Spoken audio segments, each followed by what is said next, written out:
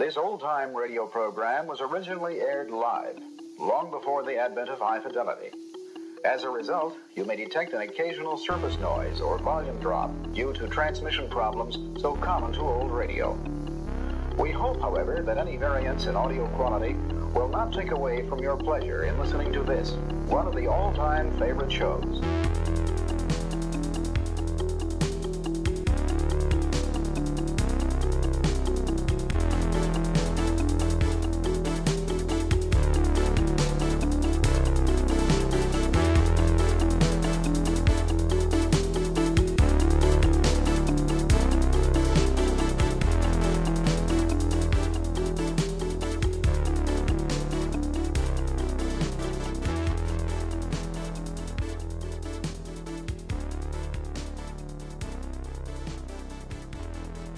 Words from Jim Morrison of The Doors about the most exciting new magazine of our day. This is Jim Morrison of The Doors suggesting you can light your own fires and open your minds by turning on to a new magazine called Cheetah.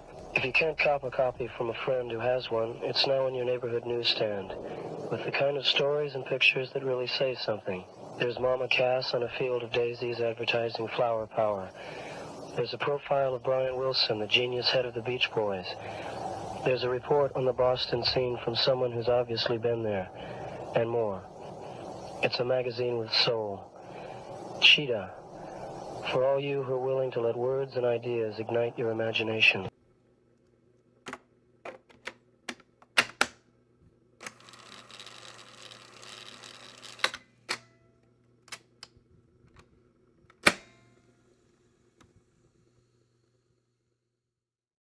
Hey, Olive, thank you so much for being on the show. I really, really appreciate it. And uh, I'm excited to tell some of our listeners about your wonderful artwork and, and just about you in general. Hell yeah. Thanks for having me on, Jeremy. of course, of course. So let's start, I guess, uh, the, the simplest way is let's just have you tell us a little bit about yourself and your background and, uh, you know, a little bit about growing up. Yeah, absolutely. So, uh, as you know, I'm an artist and a model currently. Um, I grew up in um, Utah. I was born in Portland, Oregon. Grew up in Utah, so I really consider Utah my home. Okay. Uh, and yeah, I moved away uh, when I was a teenager and just started making art like a crazy person, and that's what I've been doing ever since. right on, right on. Yeah. So I mean, L- L.A. is such a different place than Utah. I mean, I, I Oh, was uh, I lived yeah, I lived in Utah I think for about four months, and that uh, it was different. It's I mean, great people and uh, some, some uh, wonderful you know farmland and and those bunkers. You know, you ever driven on the the highways there and you see those they're like above ground bunkers they're trying to sell for fallout bunkers. Yeah, yeah. Well, you said you just said bunkers, so my my like family goes by the name bunkers, which is so funny. Not wow. like not specifically, but like my real my relatives do. And I was like, oh my god, the bunkers. no, no, I'm the what you're talking about. Um, That's the, so crazy. Bunkers that are over top ground. Yeah. Man, so you know, in in Utah, uh you grew up in like an RLDS community, right? FLDS. Yeah. FLDS, sorry, my bad. So uh, tell us, uh, I mean, a little bit about just, you know, briefly about that situation and, and how that contributed to you, uh, you know, becoming a creative person. Like, wh- what was the inspiration in that where, where you ended up having creativity as an outlet? Yeah. Uh, so yeah, I grew up FLDS. Um, I was actually never baptized Mormon. I Okay. uh, respected the gospel when I was eight, but I was still growing up in a very like cloistered FLDS and LDS environment.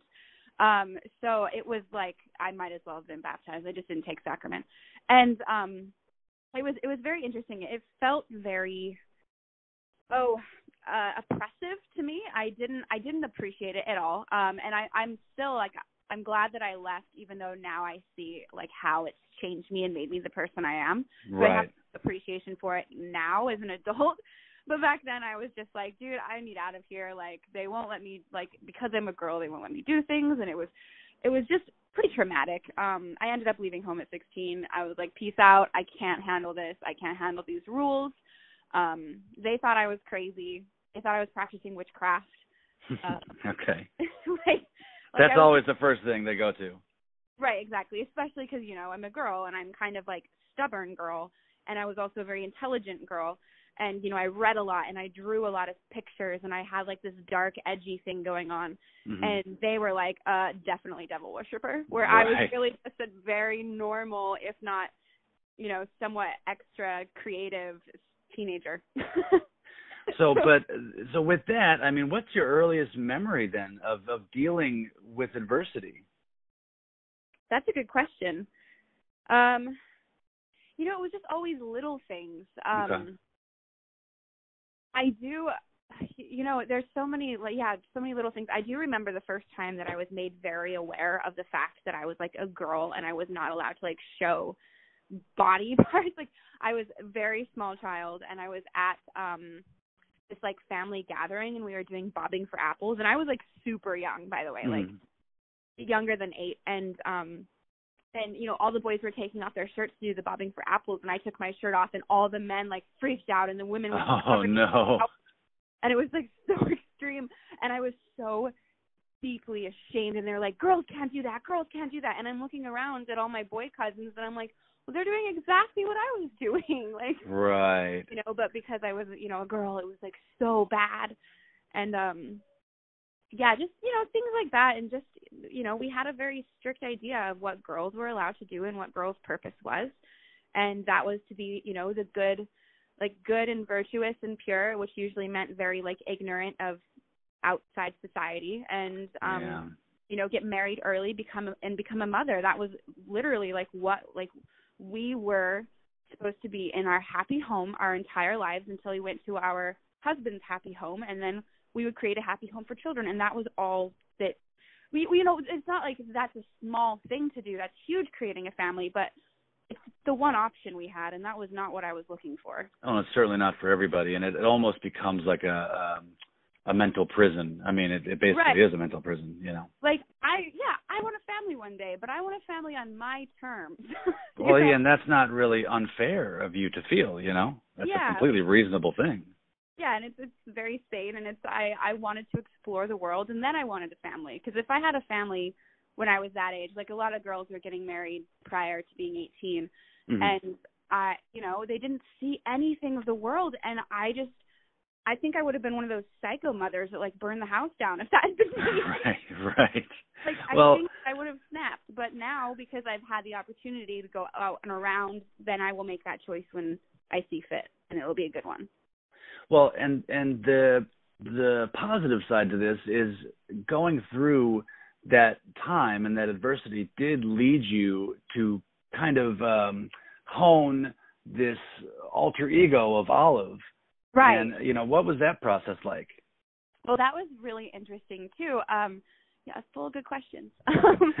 so uh, Olive is an imaginary friend I had as a kid, and she was like the bad one, right? She did all the bad stuff, and and whenever I did anything wrong, they'd be like, you know, you know, like why did you do that? And I'd be like, no, Olive did it.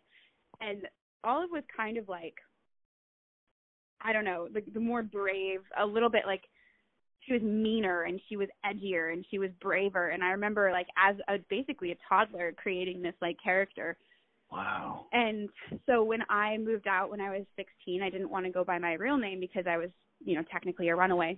Mm-hmm. and um so i just started going by olive. Like i some people called me that occasionally anyway but then i i started like really uh, officially going by that name and i i wanted when i moved out i wanted to fully embrace you know that side of myself that was like an adventurer and a creative so i thought that maybe if i took on the name of olive i would absorb some of that like bravery and you know like almost like a street smart vibe that i didn't have Well, the funny thing is that in reality, if you strip it down, it was things that were there all along. It's Right. just that it uh, it permitted you, I guess, in a more uh, at that time understandable way of how you know how to get Right. those results. Well, you know, you think about it, and names have power. And so Yeah, yeah. I grew up being called a certain name that you know my parents called me, and it was like it was just like everything. All the expectations were on this girl, but when I changed Mm. to Olive, there were no expectations on Olive, other than what I wanted. right, right. So now this, as you got the olive persona, this led you to kind of foray for the first time into artistic photography. Right, and yeah, I was doing artwork under the name Olive Alexander at the time. Okay. And then uh when I started modeling, I went by Glass Olive. Gotcha, gotcha. Yeah, everything has been uh, uh Olive has been in all of my stage names. But now, so you're 16, you're a runaway, and try to think back. What, you know, the very first moment that you actually, can, you know, understood that you were away and that you were free in this way that you had always dreamed of. right. Uh, what, you know, what was that moment like, and, and what preceded it? I think the best word for that feeling was exhilaration. Mhm. because it wasn't just plain excitement and it, like happy excitement and it wasn't complete fear but it was somewhere in between it was like going on a like even just walking down a city block for me was like going on a roller coaster ride because it was like so new and i was just it was so exciting and new and crazy and like nobody was watching to tell me how i needed to do things differently you know so it was like i was in control and it was i was very aware of that and it was like a combination of terrifying and exciting. When I first ran away, as I was leaving, it was just like intense um anger, fear. You know, there was a lot of stuff going on that was like motivating me to leave. And then once I, you know, actually got on the road and got into like cities that I had never seen and was doing things on my own that I had never done, it became like a whirlwind of opportunities, I guess. And it was well, cool. it's it's like you were reborn, really. Right. I mean, it was it was exactly it was completely reborn, and I was anonymous, and I was, you know, it was it was I could do anything I wanted. so, So you get out of Utah, and where's the the next state that uh, you know you wind up, and and how so? Um, so I went. Uh, first, I went and stayed in Salt Lake City for a short period of time, Mhm. and then uh, I went to a lot of different places in a short period of time. I want to say the next move was um, Oklahoma. okay. and then from there I drove to Oklahoma. Wow, that's In my- unusual. Unusual choice, Utah to Yeah. Oklahoma. yeah, I was with my boyfriend at the time, and we Okay. decided to go take a job in Oklahoma. Or he did, and um, and then we drove there. We we hadn't slept for uh, the day before we left for, for the trip, Oof. and then we had to get there like as quickly as possible. So Do you remember what kind of car it was? it was just some normal. I The don't know. basic. Okay. Okay. Yeah, just like a basic bitch car. I don't know. right. and uh it was um like all the four doors that you see. Um I think it was a Honda. But okay. anyway, Okay. But not like yeah. an old station wagon type movie. No, it wasn't. know, where- cool. That we did have one of those later on, but um no, this this one was just the standard car that every 16-year-old high school kid that you know that my boyfriend was gets when he's right when they're Like, 16 whatever. yeah. for eight hundred dollars with your Dairy Queen money. Right, exactly. So uh we drove to Oklahoma in that and we were so tired that um when I would start falling asleep at the wheel, he would like nudge me and then we'd change Oh. And then he would fall asleep at the wheel, I would nudge him and we would change places. Wow. And like we almost died many times. yeah. Don't try this at home. oh my god, please, for the love of God, don't try this at home. I almost because I didn't know how to drive. So oh, I even better. and I was also kind of dyslexic, so I kept mixing up the gas and the brake and left and right. And Oof. so I almost ran 60 miles an hour into the fence of a military base in like I don't know where where, where we even were, somewhere wow. near Oklahoma. Um I want to say Georgia, but I'm not sure if that's like correct at all. But anyway, yeah. Well, I mean, if that would have happened, maybe they could have rebuilt you like the six billion dollar man. You know, Right. I could have become a cyborg. greatest like yeah, cyborg battler. so then, all right. So, how did that the anxiety of that situation and uh, kind of being in the unknown, uh, you know, how did that not overwhelm you? I guess you Oh, had the support, you know, of your boyfriend, but it did completely overwhelm me. Like now looking back at it too, I think I didn't realize at the time how overwhelmed I was like on a consistent basis. right, right. like going grocery shopping and talking to the cashier was a nightmare for me. Like I didn't I didn't I didn't like have a I was good at things, but it took me a while to learn. Like counting change and, and money out when I went to the cashier was a, like so bad that I wouldn't be able to like figure out how much to give the cashier. Um driving was scary, talking to people was scary. I was incredibly naive, so holding a conversation was kind of a nightmare in like a group setting.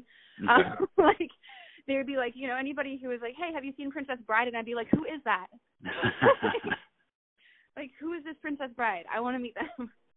so, so then, what you know, you had relied on things like uh, drawing and painting when you you know were growing up and you were in Utah. So at what point did creativity? I mean, were you always still drawing? Did you always still keep painting as you were on the road, as you were going between you know Oklahoma to, to uh, you know next? Where did you go after Oklahoma? Oh, we just drove. God, I don't even know like exactly what the timeline was. We went all over the West. Um, okay. We mostly Oklahoma, I think, is the furthest east we went.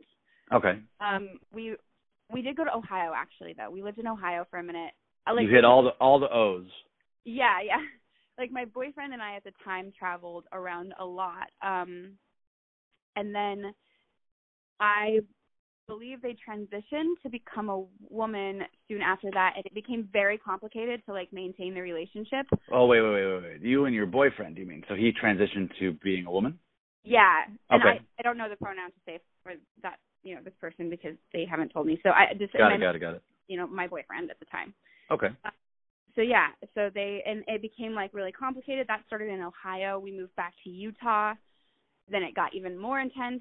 Uh hormones like are when you're transitioning and taking hormones like from what I've, you know, experienced with with this person, it was like very complicated. And our I can't even imagine, yeah. Yeah, our relationship didn't last. I, we tried. well, but but so was was creativity even then? I mean, were you always still creating to oh. try oh. and escape? Yeah, always. That was super important. Okay, so you get you get back home to Utah, and then uh, you begin art modeling from there, and that leads you to Portland. Yeah, so I moved back to uh, Logan, Utah. Mm-hmm. Um, and this is actually after uh my ex and I uh joined a band and we were traveling the west for that too. After all of that happened, um we the band disbanded, if you will. The band disbanded, okay. Yeah, and I That's a great band name. Yeah. yeah. Uh we moved back to um Logan, Utah.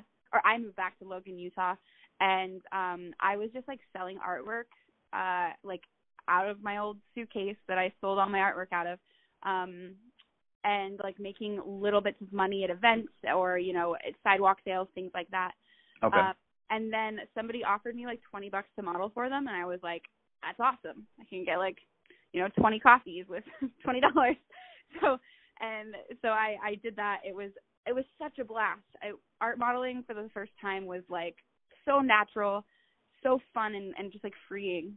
Um and you had never really done it before. So you being you know like you said so shy and reserved and, and not being able to really count change at a convenience store where where did you find that motivation and that ability to to be you know first of all even comfortable in your own skin in front of the camera but also to be comfortable nude. I have no idea. It just happened. Just go with it kind yes, of thing. Absolutely. So, you know, because I'm sure that there's going to be uh, people listening that do want to get into modeling, the dream of doing modeling and, and acting here in LA. And so I think one of the biggest uh, hurdles to get over is really putting that first foot forward and putting yourself out there and being open to, you know, possible rejection or, or possible job offers and, and getting past that whole anxiety of right. what if. Well, yeah, I mean, there's so many what ifs. That's why, you know, when people come to me and say like, I want to be a model, like help, you know, I'll give them the tools. But mm. honestly, it's a combination of like bullheadedness for mm. one. You have to like, I'm not a standard model type. Like, I'm really not. And so I had to go and like break some walls down to get some opportunities. Just keep doing it and doing it and doing it until you finally make it work and you have to be okay with being very poor for a very long time. Right, right. And there's just like there's so many obstacles, like creepy photographers, uh, cancellations, um, traveling constantly. Like it can be really amazing, but the constant travel is exhausting. You know, there's just so many variables that I think people don't realize when they're thinking about, you know, the they want to start a career in modeling. Right. Well, we see the the fame and the pretty pictures, but none Right. of the the loneliness and the traveling behind the scenes and It is a tough fucking. Oh, can I swear? Of course, please. okay. It is a tough job. Like I, it's not just standing there and look looking pretty. That's that's the fun part. right, right. But you got to hustle. It sounds like. Yeah, you gotta hustle hard, just like any other freelance career. So you start modeling, and does that? I mean, you do it your first time, and how quickly would you say until you were, you know, doing your first shoot outdoors to doing it full time?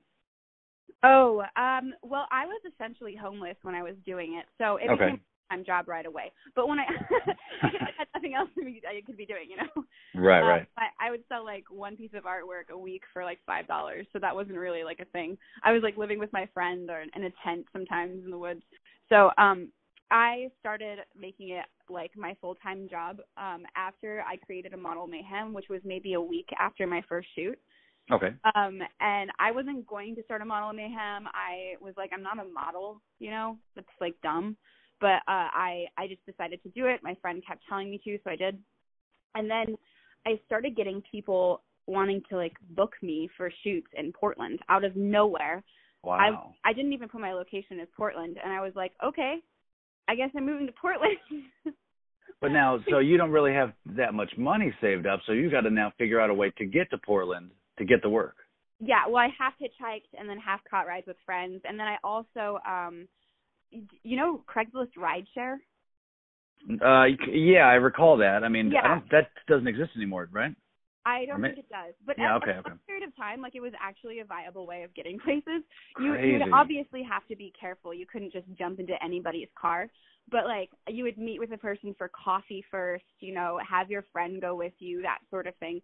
Um, and yeah, so I jumped in the car with this guy who was also going to Portland. He was super nice, hipster dude. Um, and I, yeah, it was like I wouldn't do that now. I don't recommend like you know, but he, it was I was very fortunate that I never had bad experiences doing that sort of thing.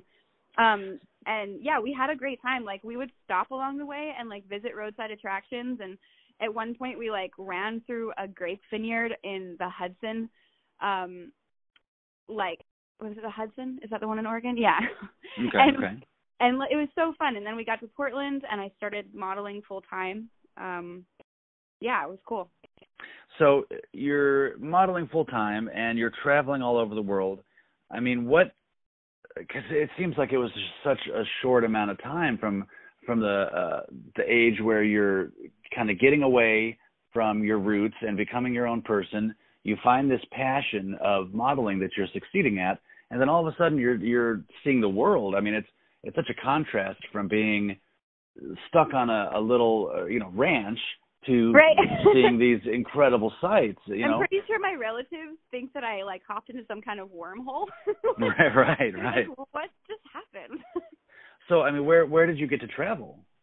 well um you know i was actually this made me think of the first time i was able to travel for modeling which Mhm. was so exciting because in you know in your head you always think like if i could hit this uh this level then i will be a successful whatever. And so my thing was like if i if i get to travel for modeling that means i'm like a real model you know? And um i think i flew to like um what is it? Like some podunk town in oregon. Like they just had a little like you know puddle jumper kind of plane. And i went out to bend i think for the weekend. Oh wow. And I was so excited. I was on the plane, and the person next to me, they're like, "Oh, what are you going out to Bend for?" And it's so so funny because I remember looking at them and being like, "I'm going to model," right. and they're like, oh, "Okay, honey." so then, so so you go to Bend, but then, I mean, where where was the first place you left? Would you say internationally? so um, I was. this is actually the best story. I'm so glad you asked about this. Um, so I was hired um with my friend Floofy. Her that's her modeling name. Okay. uh, on Instagram. She's great. Um, her and I were hired by this um, Belgian count who owns a cookie factory. Count Chocula. Sounds fake, but it's real. and um, so he owns a cookie factory. He's a Belgian count. He cannot um, like I know his name, but like I can't say his name because it was like he he couldn't tell anybody that he, you know, shot nude art models. Weird. So- okay, okay. So he had like basically unlimited money, and he was like, "I'm going to fly you guys out to, um, you know, uh, uh, Belgium and uh, France and England, wherever you want to go. I'll put you up in all these different places, and then I just want to shoot with you like a couple of times." And he was a super friendly, very polite, like no fishy business going on. Wow. Um, we, we stayed at this like what was it called? Um, we were in Bruges at the Palace, the Duke's Palace Hotel, which is like it's exactly what it sounds like. It was the uh, a palace of a duke. It was amazing. That's uh, crazy. And he came and he would shoot with us at the location because it was like at the hotel because it was so beautiful in the room.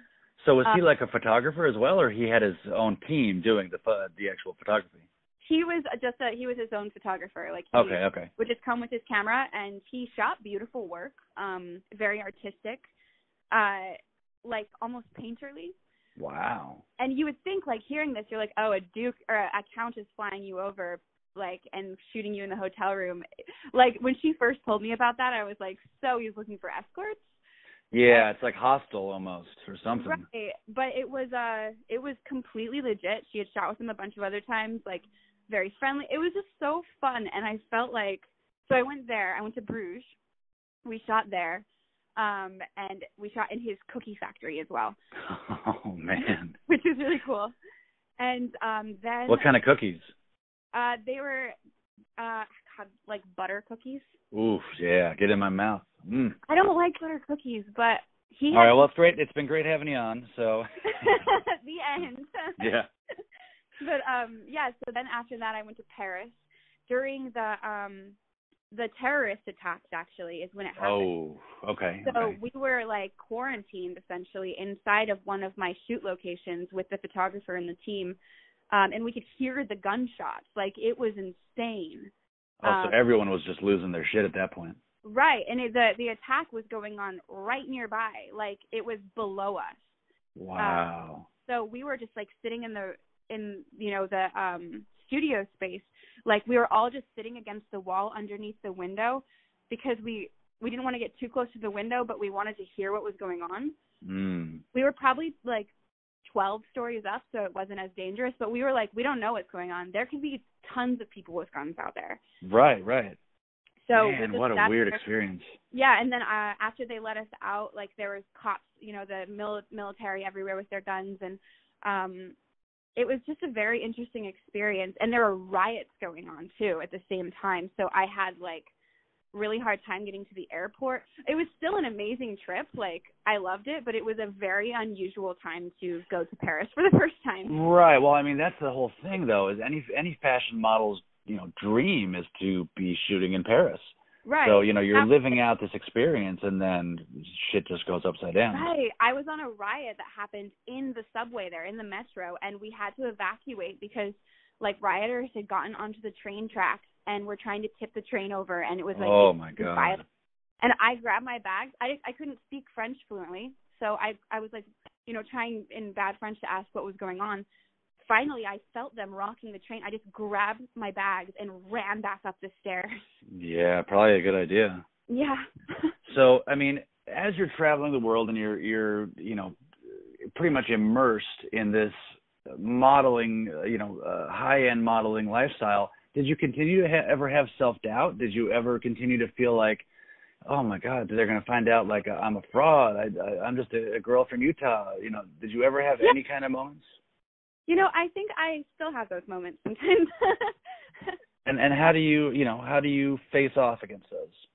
Well, you just keep doing the thing. I mean, like I don't I, you know, it's my it's it's my passion and I do it and I love it, but it's also like my job and no matter what I think about myself in one moment, like I can't just stop doing the thing because I need to, you know, get groceries. Right, right. so I, I don't know. I tell myself like I, I'll have like I have had and I still sometimes have moments of like they're gonna think that I'm just like some dumb girl that's trying to like make this work and I'm obviously not like the look or whatever and um usually I'll stop and like take a few deep breaths and try to access my uh uncrazy side where, where I feel confident or I, I at least feel like powerful and I don't know, I I guess I'm just really stubborn. I just keep doing it anyway. Yeah, but you know what? Sometimes that works. You know, it's just it's, Yeah. it's one of those things where, you know, this this is a show that I I started that is for people that are you know struggling per, perhaps with withdrawal or perhaps uh, relapsing in their recovery or or are going through you know a bad breakup or a, an ill a physical or mental illness, and you know maybe they're just running through their thoughts in their head and they they need a little Yeah. distraction, they need some relief, and Right. so I, I you know I like talking to guests that have different passions that have different suggestions on ways to get through adversities. You know that what Right. works for you, and so that's what it's interesting to hear. I want to create more than I want to do literally anything else in my life. And I think that that's what gets me through those moments is that like I want it more than anything like creating art to me and like making cool shit is the most important part of my entire like person as like a living person on earth. That's what I do best. And no matter what, even if they did discover I was a fraud, say they found out there came out a press release tomorrow that said I was a fraud, you know, I would still keep creating because that's what I do. That's right, yeah, and that's and that's your way also of uh of coping almost with any you know any Yeah. anxiety that that develops. Right. So to backtrack a little bit, so you're traveling around the world and you did some traveling by yourself as well though that wasn't Oh. job related. Uh yeah, yeah. I, I mean a lot of it's job related, but I also made time in that to make sure that I got to sightsee and and you know do my own exploring. Okay, so and so uh, when you did get your your first chance to to pick, you know, non-job related, when you're like, all right, I'm going to pick somewhere to go that I want to see, that I, you know, this is where I want to go. Where was it? Right. Uh oh, so actually uh when I I had gotten out of a really bad breakup and I was feeling really shitty about myself, like the person had kind of like broken me down and I felt very bad, just bad about myself. And so I started this thing where once a month I would travel somewhere new or do something new just for me and I had to go alone. So um one of my trips that I think I'm the most proud of, it cost a little bit of money, but that's okay. You know, it's Well, yeah, I mean, you can't get, YOLO. they can't bury you with it, right? right. Uh, I went dog sledding in the Arctic That's crazy. for a week. Um, It was Wow. incredible. I took a lot of photos, which I will be like making into a zine at some point. That's cool. But uh yeah, I you know the book uh The Golden Compass. Mm-hmm, Yeah. So um Lyra, the girl, the main character, is somebody that I really relate to. Okay. Uh, and she went to a place called Svalbard and went like dog sledding there. And I remember reading that and being like, "Oh, this guy makes up the best names, you know, of places." and then I googled Svalbard and it was a real place. And so uh I had no idea. So I booked tickets there. so how did how, what's the the flight like? You fly from what? You flew from L.A. to was I mean there had to be like a connection. well, yeah, so uh I planned an entire trip around it. I went in February because that's my Mm. birth month, which Okay. is a really interesting time to go. but Yeah. so I flew into I want to say England. Yeah, I flew into England. Um and then I actually did do a couple of shoots there because it paid for the trip and so it made it nice. Yeah, there you go. Why not? Um yeah, and then uh for, but I it was only like two, so it was very, you know, simple. I went to Nottingham. okay. uh, I was I kissed the Robin Hood statue on uh Valentine's Day. He was my Valentine. I got really drunk at the uh, Nottingham bar. The um, Ye Olde Trip to Jerusalem is the oldest pub in England, and it's in the side of Nottingham Castle. Like like Wow. Actually went there. So I got really drunk there. When it was really fun. So I yeah. So that was a good night. And then when you um, say Robin Hood, I still think of the cartoon Fox. yeah, right. Maybe You know. he actually just was a fox. Yeah. But, uh, and then after that, um, I went to Paris. Um, and then from Charles de Gaulle Airport, I took a like skipper plane to um, Oslo. Stayed in Oslo for one night, and then I took another plane even further up north to a place called Tromsø in Norway, which is a very interesting place because the sun doesn't ever seem to leave sunrise like level. Oof, that sounds awful. it was very interesting. Like i was um kind of permanently exhausted. I was i i was glad that i had time to adapt before i just went straight to svalbard because it I did, had no idea the effect on my energy that having like the sun like that would be. Oh, I can imagine. Yeah. Yeah, and so plus, just the traveling. Right, right, yeah. And each time I got onto a plane, it kept getting smaller. You know, like Right. up there every time it was like more of a puddle jumper. So um, and then from there I um, while, while I was in Tromsø, I got like pizza and went to Toys R Us, and then because that was close to the airport, and then um, I got onto a, a tiny plane. That as we're walking in, they were like, "By the way, there's a rabies outbreak on Svalbard right now, just to be aware." And I'm like, "Great, great time to be going dog sledding." Dog sledding. Yeah. um, so I get onto this tiny plane going to Svalbard, um, and we land on this absolutely terrifyingly small uh, um, airport, and yeah, and it was already nighttime, and it was uh, about negative 25 degrees when we landed, Oof. which was also yeah, it was a little shocking. And then it got colder through the night, but I I was staying at a hostel. It was really fun. Um, we I I went out the next morning dog sledding. It was just a great experience, and everybody was so friendly. I love Norwegians. They're Yeah, there's there's supposed to be some of the happiest and friendliest people on earth. Like every year, consistently, they're voted, you know, amongst the top. They're just like they have perfected this simplicity and this like earthiness to their characters where they're just like happy simple people and i couldn't appreciate that more Do you think that if you had to, that you could live in a, a place like that, 24/7, where you're, you know, moving around on dog sled, it's cold as hell all the time, and uh, you know, a little bit more desolate than you're used to?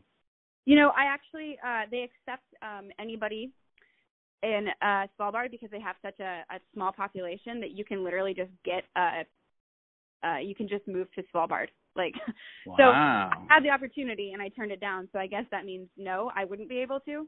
But I wonder, yeah, I wonder if you would get a passport then uh, for entry into the European Union. You know what I mean? I wonder how that would work. that'd if be that, you get- you- by Norway. yeah. So you know, you get you get your uh, your citizenship there or your visa there, and I wonder if that would permit you to like live in Paris alternatively. I mean, that would be amazing. Right. That might be like the sneak, the backdoor way to do it. Yeah, that's a good But point. so the dog, like these, the I don't, what's it like being on the dog sled? Oh, I loved it. It was uh I I could do it like all the time. I had such a blast and it was difficult. Like it it was a, such a challenge, but it was like positive challenge, you know, and the dogs were incredible and you have to be um very dominant with them. hmm Otherwise they like won't do what you say and so the moment that your dogs start disrespecting you is the moment that you need to get new dogs. Um like one of the guys, the the lead dog peed on him just like while they were taking a break peed on him and the uh the tour guide we had a, a father and daughter and then the tour guide and then me and the tour guide was like we have to get you new dogs we can't have you continue like they will attack you Wow. yeah like if the leader of the the train of dogs you know the sled is disrespecting you then you have no respect from that group of dogs Right. They're all going to follow suit. Yeah. Interesting. point the dogs tried to like uh be more dominant than the tour guide and they started fighting with each other and fighting with him and he it was it was like a, a literal dog pile of dogs fighting he jumped in and started swinging fists with them What?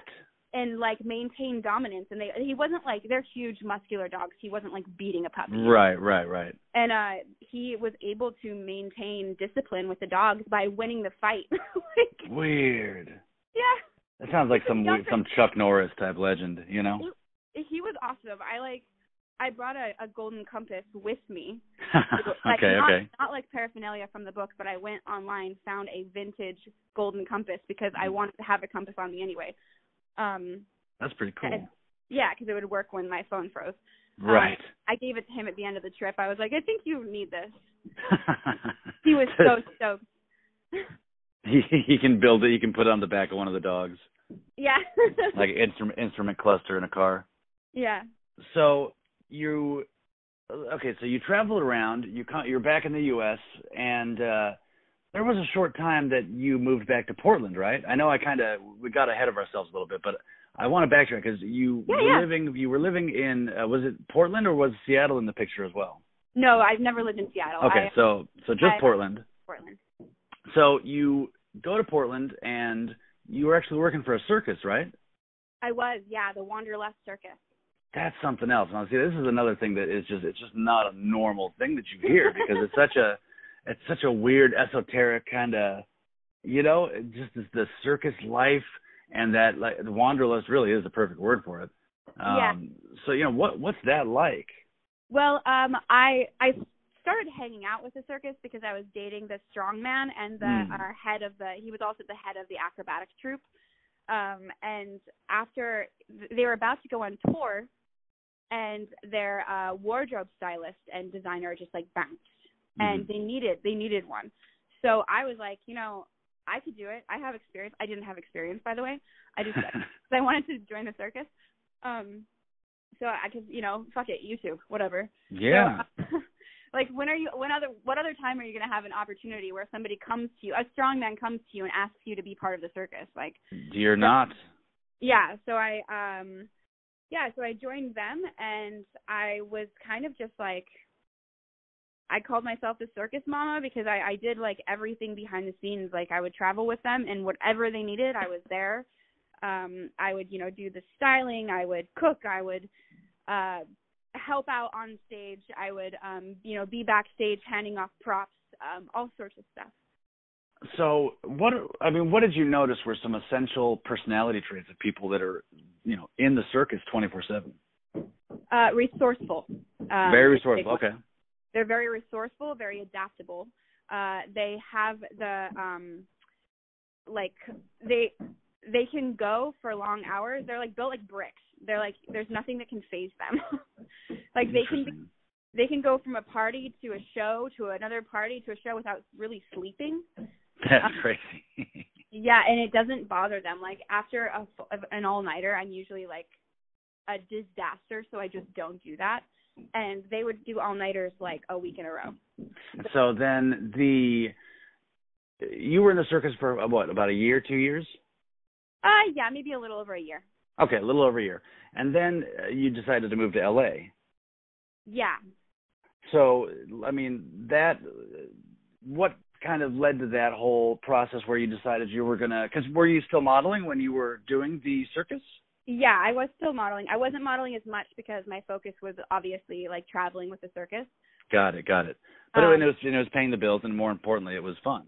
Right, exactly. And I still, you know, I was um I was modeling full time technically still, like that was my technical title, but I was traveling with them and I I like went to Sicily for modeling in that period of time and um you know, I I did like a full European tour while I was also working with the circus, but um but my primary focus was the circus. Damn. So you, I mean, you really did it right. Yeah, I was I was uh I was working hard. So I, you know, the the reason I ask is because your fame, I, I would say, really um, multiplied when you did decide to make that move to L.A. So I mean, had you been taking trips to to do uh, photography in L.A.? What was your experience of Los Angeles at this point? Well, I had been doing some adult work, kind of like very small amounts of it here and there. Okay. Uh, just yeah, just little things. And I was I would go down to LA. Like I have an agency, Adult Talent Managers. They're incredible. Um, I'm still signed with them, even though I'm not shooting porn anymore. So whenever they Mhm. got me a job, um, I would come down to LA, shoot, and then go home. Um, and then yeah, I was living in Portland, and I had broken up with the the boyfriend, and Okay. I know so the circus had essentially disbanded at that point. I don't think they exist anymore. this um, disband, you got this disbanded theme going on. I know, I guess so. I I break up down, guys. I'm like, yo. That's right. um no so i uh i left and then the circus kind of just like dissipated um so i don't know what happened there but well i do but we won't get into that Gotcha, gotcha, gotcha. um uh yeah and i thought you know what the hell like i'm gonna move to la and become a porn star So you come out here and you start doing that, and Penthouse discovered you fairly shortly thereafter. almost right away uh i moved to port or i moved to la um and yeah started doing um just some small stuff and then Mhm. uh penthouse found me and um that was that like it, it kind of like shot me up pretty far like right away Yeah, because you were one of the Penthouse pets of um I mean, you were one of the Penthouse Pets like that qualified for the year. Yeah, I was the runner-up for 2018. That's crazy. That's I mean to just think that you arrive in LA and then so quickly thereafter you're able to to get that kind of acknowledgement. Right? That was awesome. I had I had no expectations that that was going to happen and so it was like I mean there's so many beautiful women in the industry, you know. So and, and there's so many that want to get into that, you know and so many women who are beautiful and have been in the industry for a long time working very hard for what they saw that I got very easily. Mm-hmm. So it also kind of like made a couple of people mad, but what can you do? I'm not going to turn Yeah, that's not your fault. It's, yeah. Sorry guys. yeah, I mean, and resentment doesn't get anybody anywhere, you know. Exactly. So yeah, so, it was a blast and um I got put on the map after that and um I mean, I can basically thank Penthouse for like the rest of my Los Angeles career at this point. well, the good thing the good thing about it is it really allowed you to create your brand, and especially with your art, because you have incredible art. And uh, you know, I definitely want you to mention uh, a how people can view your art, but uh, more importantly, b how they can purchase it. And uh, you know, sometimes you do raffles for special causes. So I, you yeah. know, I want to I want to go over that a little bit because it really did allow you to to shape what you wanted this olive glass brand to become. Right. Well, that was something that when I moved to LA and I knew that porn was at this place in society right now where it was not um viewed as badly people were just starting to see it as like really exciting new celebrities you know? And it gave these these people platforms that they wouldn't otherwise be able to access. So i was like you know i could create a platform for myself and a name for myself in like based on the porn industry like that could be my platform. So i started using my like instagram following to create nonprofit like uh charity fundraisers things like that. Um and yeah i mean you know people aren't as interested in like an instagram model doing a fundraiser as they are in like a porn star doing a fundraiser right right i mean unfortunately but it it's just the way it is right.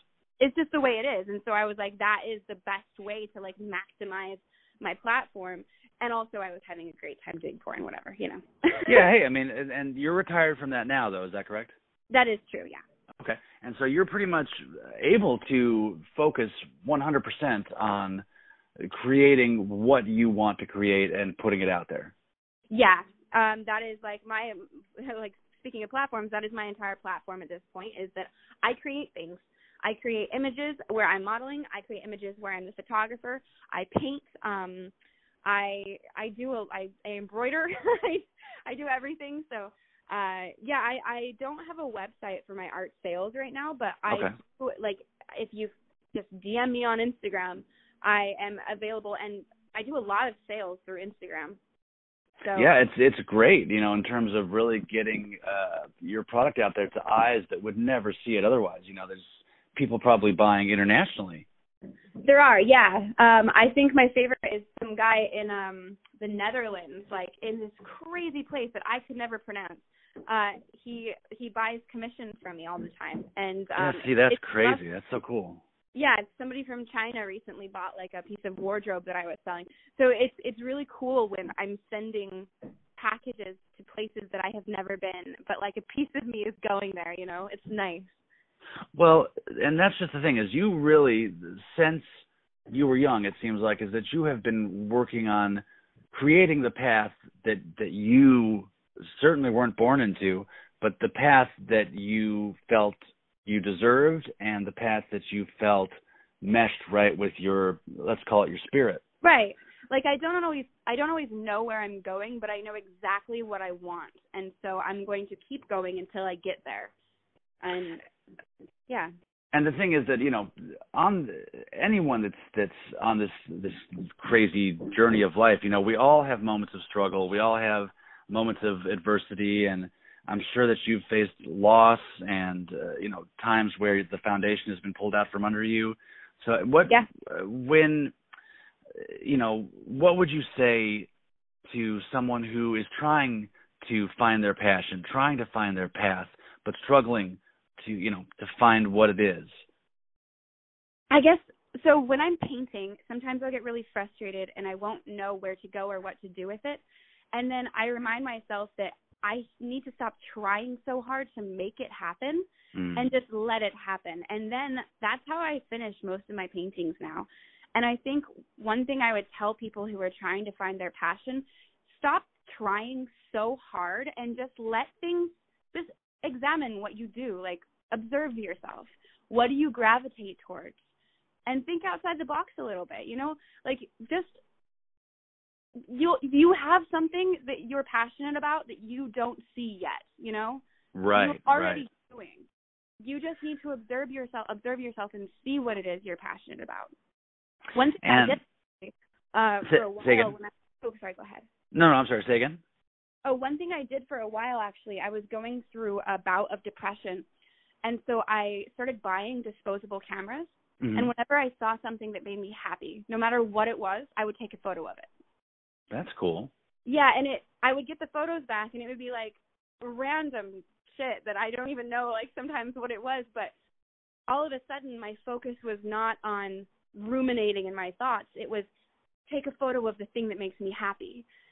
And so I was collecting all these moments of happiness and it helped me find a new passion, a new motivation. Um, I really recommend that to anybody who needs to figure out what makes them happy and what makes them feel passionate. Yeah, you know, I I like the idea of creating things uh, when you are facing moments of adversity. I feel like if you can uh, create some music or make a you know do a drawing or you know there's or do photography. There's uh, so many different ways that you can utilize uh, these creative outlets to to at least express that energy in in some kind of a positive way and get that off of your shoulders, get it out of your head.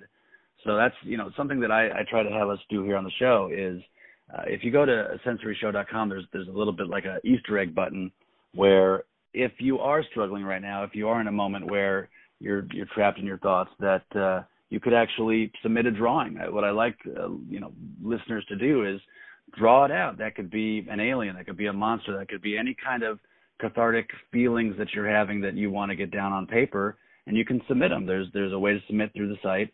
Uh, it's a little bit of a secret, so you've got to figure it out if you go on sensoryshow.com. but also on our Instagram page at uh, at Radio Withdrawal, uh, if you do want to submit, and I'd love to have you submit something if you feel. Uh, Oh, doing that. you know, that would be awesome. Yeah, that would be so cool. So if you go on uh, at Radio Withdrawal and just put extra hashtag extra sensory, so you'll be able to see Olives, you'll be able to see any of the other listeners that are submitting, and that way, you know, it gives you something to do in that moment. If you just you need a little bit of a, a respite, you need to have a little bit of an escape. But you know, I think what you're doing, you've tapped into that the method that that works best for you. You've tapped into that way to uh, to find relief. You know, when you when you do have, uh, you know, because uh, can you think of a time when you've had loss that you've you know really had to rely on this creativity to to get you back? Yeah, uh when my mom was dying and I was taking care of her and it it like broke me. you know? And I was sitting outside of her door or I was sitting next to her as she was in bed all day every day for 3 months and I started painting and um that's what I did in between taking care of her. And it was super hard, but uh, I still have a lot of the artwork and um you know yeah, I, I sent some of it to you like uh just really finely detailed and um very like you can tell I can tell at least there's like a lot of emotion going into it and I had to have something to focus on and I needed to create something good while I was sitting there because otherwise I was going to like lose my mind. Yeah, I can imagine. yeah, so you know in moments of like extreme loss there's no better way to channel your sanity than by creating something. and that's the reality is is that there's this this weird veil over the the word celebrity that you it almost you know we see such small glimpses of of what the world is really like. Uh and you know there's like we were talking earlier there's so much that goes on behind the scenes. And Absolutely. you know we all have these struggles. We all deal with shitty days. We all have ups and downs. We all have times where we uh, tripped when we were trying to run. And it's one of those things that uh we all deal with it and we you know have all different kinds of ways to get through it and i think your way is is especially good because when you put it out there, you you can go back when times are better. You can look at it and say, well, yeah, wow, that was that was Yep. exactly what was going on in that moment, and and look where I'm at now because it does get better. And and you know, tomorrow is always another day. And Right. even when you know, even when we doubt ourselves and when we're afraid to embrace ourselves, or when you know when we're uh, too afraid to to move forward because we don't know if we're going to fail or not. You know, the reality is is that we all deal with this, and Right. And Yeah. sometimes we all fail too, but like what are you going to do? You know, like you just got to pick yourself up and keep going because we're made of more grit than that, you know? Exactly. Well, so, you know, if if Yeah. you had to tell yourself something today, if there's something that you feel like you need to hear, what would that be? As of today, like right as now, of right, yeah, as of right now. um that I need to stop procrastinating. Okay, okay, fair enough. Yeah, I mean just like as a motivator for today for me, stop procrastinating.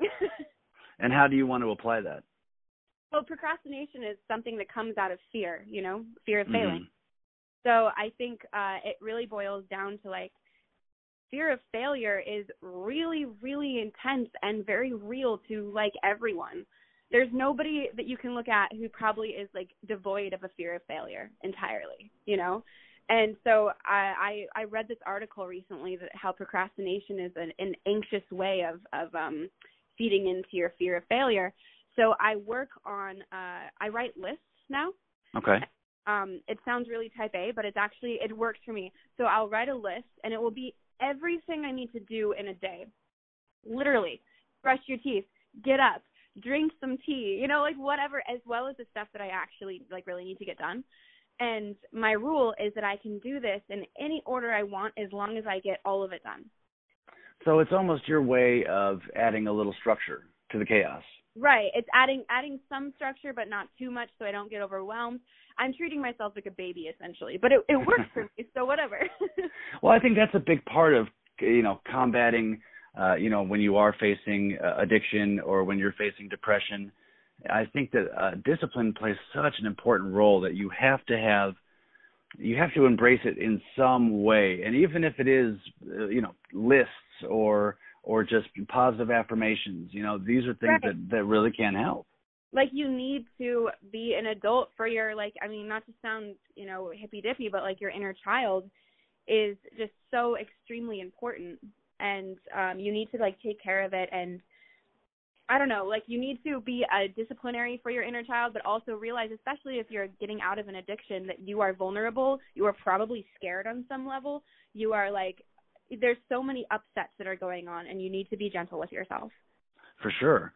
And well, so what if if you had to talk to someone who was suffering through something such as a loss or a horrible breakup or you know uh, terrible depression or addiction, if you had to share just a few thoughts of uh, you know helpful advice from your own life, what do you think that would be?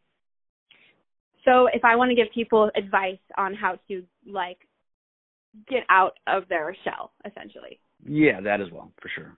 Yeah. Um I guess it goes along with everything else, like access that part of yourself that is is gritty and resourceful and uh I I feel like personally when I get some isolation and I'm able to like think clearly and be on my own and relax like self care, it's it sounds cliche, but it's very important. Like take a bath, um, put on some good music, like get some yummy food. Food is like amazing. like, For sure. Oh, for sure.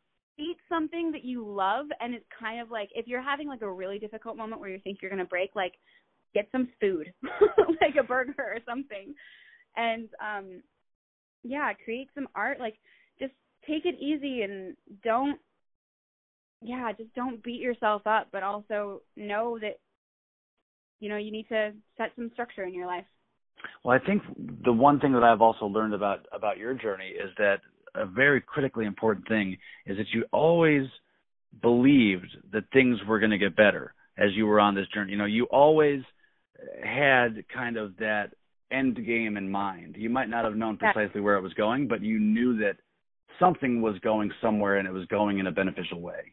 right well you have to have hope Right, right. like you you need to focus on the the hope the that idea of like you know when you were like I made myself a promise when I was in second grade that I would never give up my imagination even when I got older. And I remember sitting myself down and being like, I can never become that adult that forgets what it's like to be in second grade and like be so hopeful and happy and like full of imagination and um which I think was a kind of a weird thing for a second grader to do, but yeah, um, it's deep, man. Yeah, I was a I was a pretty intense little kid. um, and uh, I've never forgotten that. Like you need to know how to play. Like you need to know how to imagine what your life could be if you were a fairy princess or like something really outrageous, but also like it accesses that part of your brain where you are in charge, you are full of hope, you are seeing the world how you want to see it. And there's literally nothing more important in a person's life than just finding that part of yourself that like loves life and wants to create something beautiful for your own self. Well, I think you know I, I have a, a little bit of a favor to ask since you do do those wonderful uh, uh, raffles every couple of months with with your artwork. I would love to have something set up where we could uh, have you choose a piece of art and and do a raffle where we could uh, have people contribute to like addiction services, mental health services, yeah. something like that. You know what I mean? I love that. Yeah. I think that would be so cool, and you know, it would really uh, put our money where our mouth is, kind of thing. I would love that. I mean, I you know, I have a history of a family that struggles with addiction and I just think that you know, there's there's such beautiful people inside of that addiction, you know. Absolutely. And the addiction is not I mean, it's not you your life, you know, it's it's, it's it can be such a small blip. To you. It's not who you are. Absolutely. And, and I yeah. It's discovering who you are through, you know, these processes and like you said this is what's worked for you and I think that it really could work for a lot of people. Yeah, I I think so too. So let's very cool. Let's, uh, well, yeah, let's uh, let's make a fundraiser. That sounds good. I'm really excited about that. So, uh, you know what? I got to say, I think that uh, you should be so so happy with you know what you've achieved, and especially in the time that you've achieved it. I mean, it's it's Thank so you. cool that you have have come from a situation that could have played out so differently, you know, and the fact that you really figured out how to how to hustle and how to learn these things on your own and become this person that you know uh battled her way to what her goal was and what her dream was you know that you just Yeah. that's inspiring Thank you. I'm still working on it every day, but I think it's only going to be up from here.